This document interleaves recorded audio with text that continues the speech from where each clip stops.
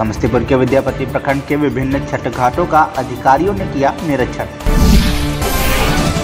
नव सभापति ने बांटे दिवाली पर नव कर्मियों के बीच उपहार दिवाली बाद छठ महापर्व को लेकर विशेष साफ़ सफ़ाई की, की अपील। सहरसा के सदर थाना क्षेत्र के हटियागाछी कब्रिस्तान चौक के पास एक लॉज के कमरे में संदिग्ध स्थिति में बीए के 22 वर्षीय छात्र संजीव कुमार का शव फंदे से लटका हुआ मिला। पुलिस ने किया शव बरामद। समस्तीपुर के मोहिद्दीन नगर थाना क्षेत्र के बलुआही स्थित बिस्कोमान से दिन दहाड़े अपराधियों ने पिस्टल के बल पर तीन लाख ग्यारह हज़ार आठ सौ साठ रूपए की लूट की घटना को दिया अंजाम बिहार के मुंगेर में एक बार फिर से मानवता हुई शर्मसार मुंगेर सदर अस्पताल के पुरुष वार्ड में 24 घंटे से पड़ी है लावारिस लाश, जिसे देखने वाला कोई नहीं। वार्ड के मरीजों को हो रही है दुश्वारी। मुंगेर में बीती रात एक कपड़े की दुकान में एवं कपड़ों के गोदाम में लगी आग करोड़ों की संपत्ति जलकर हुई आग। शहर में आज क्या हुआ है भयावती स्थिति? भयावह स्थिति क्या है कि यहाँ पौने बारह बजे श्री श्री वस्त्रालय के घर में घर में आग लगी है। आग क्या बहुत भयानक आग लगी हुई है? ये आप सामने देख ही रहे हैं। कितने बजे आग लगी है? ये लगभग साढ़े ग्यारह पौने बारह बजे की है। कैसे आग लगा पता चला? ये ये अभी किसी को नहीं पता चला। आग पर काबू अभी तक नहीं पाया गया। बिल्कुल नहीं बिल्कुल नहीं।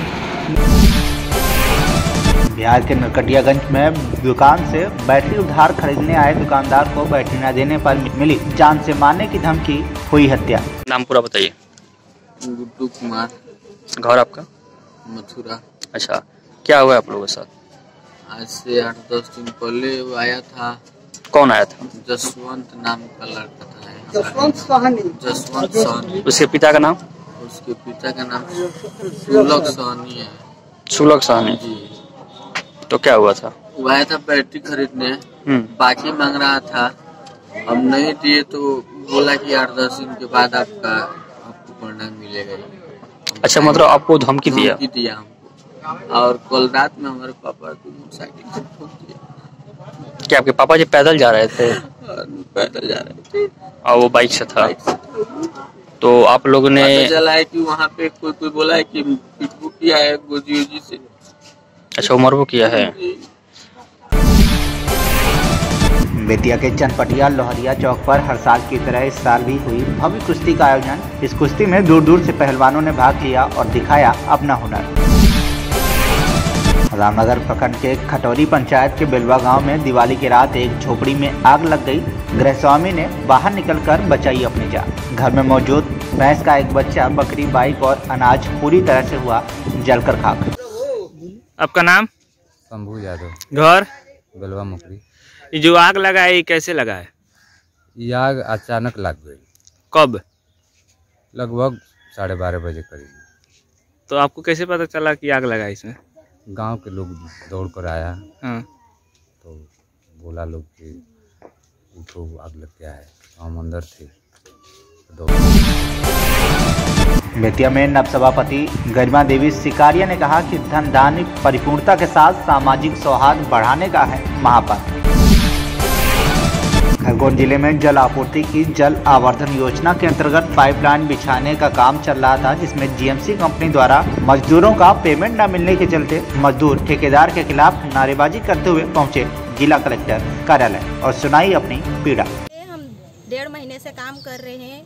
कोई हमारी सुन नहीं रहा है। ठेकेदार के अलावा कोई फ़ोन ही नहीं उठा रहा है कंपनी से। क्या परेशानी आ रही है आपको? दस तारीख से काम बंद हो गया। दस तारीख का पेमेंट करने का बोला था। सिर्फ़ ठेकेदार फ़ोन उठा रहा है उसके अलावा कोई उठा नहीं रहा है फ़ोन।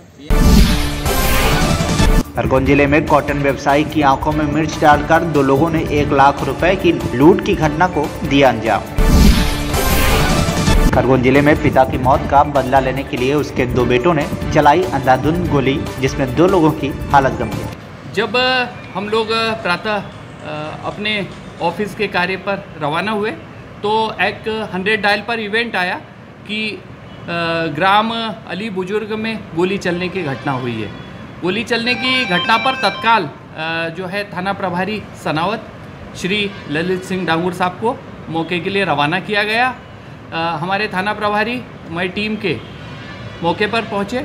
जब मौके पर पहुँचे तो देखा कि वहाँ पर एक घटना स्थल है जहाँ पर कुछ राउंड पड़े हुए मिले और वहाँ से बताया गया कि धर्मेंद्र नाम के व्यक्ति को विनोद नाम के और उसके भाई अमर ने जो है गोली मारकर जान से मारने का प्रयास किया। छतरपुर के नौगांव में समाज अध्यक्ष व उनकी टीम द्वारा जरूरतमंद परिवारों में पूजा सामग्री और मिठाई उपहार स्वरूप बांटी गई।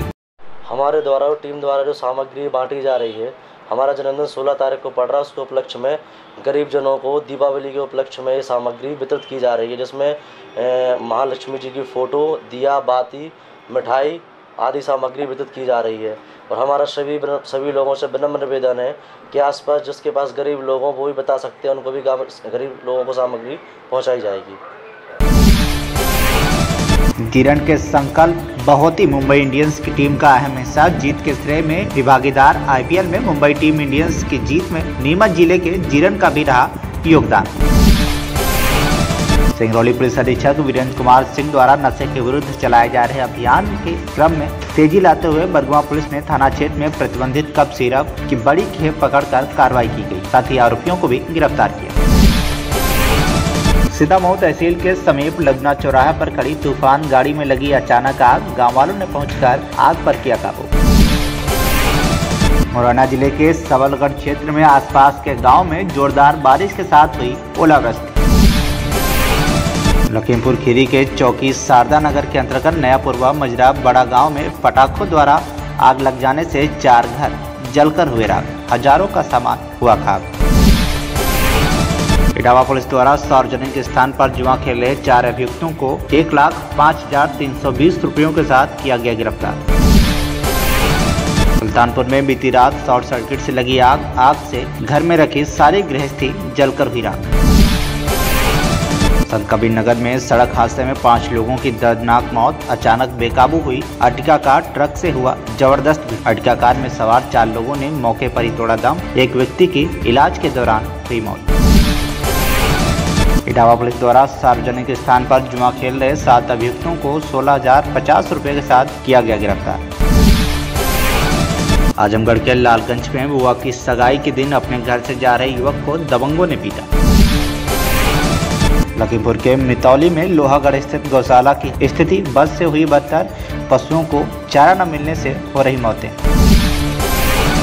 इटावा में वीर विक्रम संवत पच्चीस सैतालीस जैन वर्ष नव वर्ष के शुभारंभ पर विश्व जैन संगठन के पदाधिकारियों ने गणेश आवासीय विद्यालय पक्का बाग में रह रहे असम के नक्सली प्रभावित इलाकों के बच्चों के बीच जाकर धूमधाम से मनाया। बहराइच में लघु शंका करने को लेकर 18 वर्षीय युवक की पीट पीट कर ले ली गई जान।